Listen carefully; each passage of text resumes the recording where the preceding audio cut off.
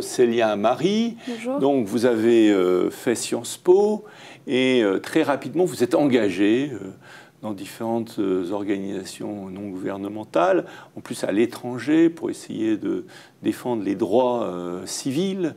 Et vous êtes, à travers ces voyages, posé de nombreuses questions.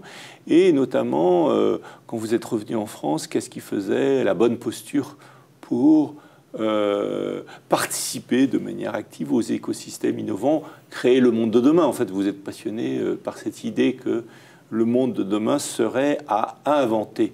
Alors, vous avez étudié un peu euh, cette question des écosystèmes innovants et vous en êtes arrivé à l'idée que finalement l'important c'est la posture, d'autant plus que vous aimez beaucoup la danse, donc ce terme posture vous parlait. Alors est-ce que vous pouvez nous parler un peu de cette bonne posture, enfin ce qui vous semble être une bonne posture pour aborder les écosystèmes innovants Oui, alors tout à fait. Pour aborder la, la question de, de l'innovation et de la création, c'est Mhm. en réalité en fait une question de paradigme, de culture, Mhm. qui se construit dans l'expérience, dans une praxis. Hmm. C'est- cette idée-là en fait qui nous mène à entrer dans le corps, entrer dans l'expérience concrète de la réalité et qui m'a convaincu ou qui m'a amené en fait à penser et à expérimenter des postures. Donc, euh, c'est des choses très basiques, mais complètement fondamentales pour pouvoir prospérer, être acteur de- du monde de demain et des écosystèmes.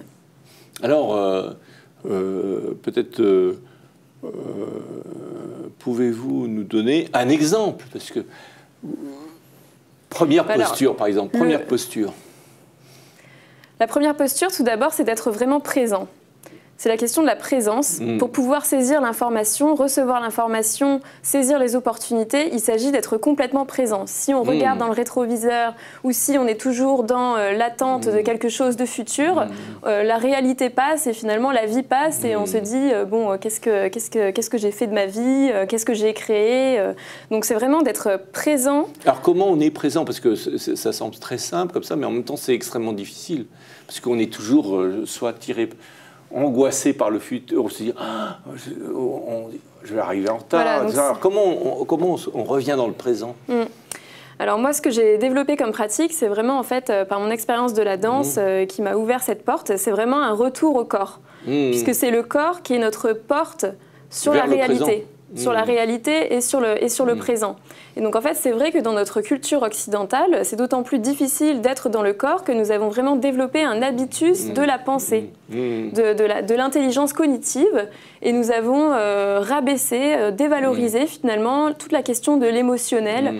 et la question de- de- des sensations. Hmm. Et en fait, des pratiques euh, qui sont beaucoup euh, pratiquées dans le monde oriental, par exemple, l'Inde, la Chine, comme la, la méditation, peut vraiment être un moyen de revenir à l'instant présent. Donc la méditation, c'est quoi? C'est tout simplement prendre conscience de sa respiration, Hmm. de ses états émotionnels, de ses états, euh, de, de ses sensations.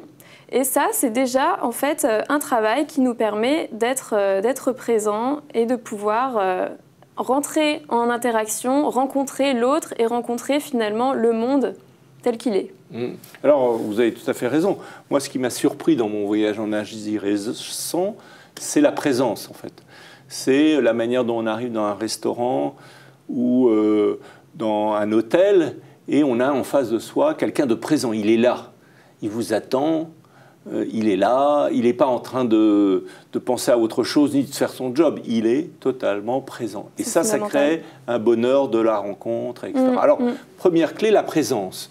Euh, deuxième clé, que- quelle pourrait être la Deuxième clé, Le plaisir, justement, Oui. c'est vraiment ce que vous venez de dire, c'est agréable. En fait, quand on est dans le plaisir, quand on est dans la, dans la joie, on a vraiment une énergie qui vient, qui nous habite. Et en fait, cette énergie-là, c'est l'énergie qui est à la, à la racine de l'élan créatif. Mm.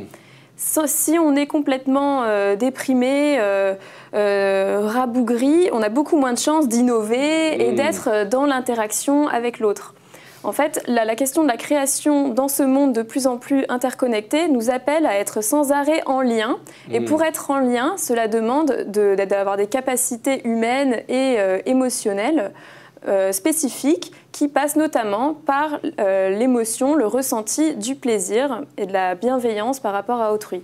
Alors là, c'est encore plus difficile parce que ça paraît extrêmement simple. On se dit, bah, soyons joyeux, etc. Or, quand on n'est pas joyeux, quand on est angoissé, tout ça, euh, c'est difficile de faire semblant. Et en plus, alors si on fait semblant d'être joyeux alors qu'on n'est pas joyeux, euh, on n'est pas là du coup.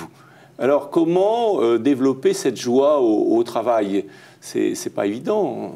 Ou est-ce qu'il faut changer Est-ce qu'il faut changer la structure du travail? Il faut imaginer des nouveaux, des nouveaux espaces de travail qui permettent plus de joie, parce qu'on ne peut pas dire qu'aujourd'hui, quand quand vous allez dans, votre, dans beaucoup de, bureaux, euh, bah, aujourd'hui, c'est pas très joyeux. Le monde est très diversifié. Hmm. Et en fait, on voit qu'il y a de plus en plus de, de jeunes ou même de moins jeunes hmm. qui, se, qui sont en reconversion professionnelle hmm. ou de jeunes qui lancent leur activité. Il y a vraiment une, une, un dynamisme incroyable actuellement dans la société, plein d'initiatives qui émergent pour redonner du sens au travail, redonner du sens à la vie. Et à ce moment-là, c'est ce sens qui redonne de la joie, en fait. Euh, tout à fait. Mais Parce qu'il y a un lien entre sens et joie, alors, en fait. Alors oui, mais alors, mm. là, c'est la, la façon intellectuelle, finalement, de mm. le formuler. Mais c'est aussi ce travail de méditation, de rapport au corps, qui nous plonge dans la mm. joie. Regardez les enfants, et eh ben, ils sont vraiment heureux de danser. Et en fait, ce rapport au corps, c'est quelque chose qui est d'immanent. C'est vraiment une immanence au monde, c'est quelque chose de naturel. Et c'est comment nous, adultes, euh, formés, et comment est-ce qu'éventuellement on peut peut-être désapprendre, se déformer pour retrouver cette joie, euh, cet émerveillement par rapport au monde qui nous donne l'élan créatif et qui nous donne l'envie de construire euh, le monde de demain. Voilà, ben, il faut qu'on se mette à danser joyeusement en allant au travail. Et même au travail, on, danse. Donc, deuxième clé, la joie. Ensuite, troisième clé, et après on, basculera dans une autre vidéo pour dire les plus grands secrets. Troisième clé, qui sont à venir. Que vous avez magnifiquement introduite, c'est la question du mouvement. Ah. C'est en fait quand on se met en mouvement, euh, l'énergie circule et la hmm. joie peut apparaître. Quand on est devant hmm. un problème qui a l'air euh, euh, impossible, impossible c'est vraiment la, seule façon de, rester bloqué, c'est vraiment absolument de ne pas hmm. bouger. Alors que si on bouge, on peut changer de point de vue, on peut se, faire un pas de côté, changer de perspective, et là, des nouvelles, un, nouvel horizon se donne à voir, se donne à voir à nous. Donc c'est vraiment la question d'être en mouvement. Et je pense que c'est vraiment pas pour rien aussi que Nuit debout, le mouvement social mmh. euh, et citoyen, s'appelle Nuit debout. C'est, mmh. il est, finalement, il est temps de se, de se mettre debout. Même la nuit. voilà, même la nuit. Mais c'est vraiment cette question de d'être en mouvement et dans les mmh. écosystèmes où le mouvement est quelque chose de permanent. Euh, c'est vraiment une question de, de survie ou de, en tout cas, de, hmm. pour, si nous avons l'ambition de prospérer dans les écosystèmes innovants, c'est comment être en mouvement et c'est ce que vous avez fait dans vos voyages en fait au sein de hmm. l'institut, aller voir l'autre. Ce, ce, mouvement nous permet de, développer un nouveau regard sur le monde et d'être en lien avec l'autre, avec l'altérité. Oui, alors on peut même, euh, ça c'est très pratique, parce qu'on peut même monter sur la table, regarder euh, la pièce d'un autre point de vue, aller ailleurs. Euh, c'est très pratique, ça. Euh, donc on a, on a, bien résumé trois clés. Euh, première clé, donc la présence, la présence que vous mettez en premier. Deuxièmement, la, joie, le, plaisir sorte de bonne humeur, de, fun. J'avais étudié ça. En fait, on, a découvert qu'on apprend beaucoup mieux dans, dans, enfin, on mémorise beaucoup mieux si on s'amuse que si on ne s'amuse pas. Et comme on est dans une, une économie de la connaissance, le fun, bon, c'est certain que pour produire, on ne produit pas plus ou moins si on s'amuse. Il y a eu des recherches, est-ce qu'il fallait euh, amuser les gens dans les usines? Ça ne changeait pas beaucoup la production. Il fallait même mieux qu'ils s'ennuient et qu'ils fassent bien ce qu'ils avaient à faire. Mais c'est vrai que dans le champ de la connaissance, dans la production de connaissances, par contre, c'est très important de s'amuser. Tout à fait. Et puis les enfants, en fait, si on leur apprend, on leur apprend par le jeu. Voilà. C'est vraiment... Donc d'ailleurs, on voit, il y, a il y, a la gamification, il y a de plus en plus de jeux. Euh, de, modélisation. Et puis euh, la troisième chose, le point de vue, changer de point de vue, bouger. Euh, bouger, bouger. Bah, il, y a même, il y a même un monsieur qui s'appelle Elon Musk qui, qui, veut aller sur Mars. Bon, c'est une autre manière de bouger. Hein. Bon, mais ça c'est pour la prochaine émission. Merci.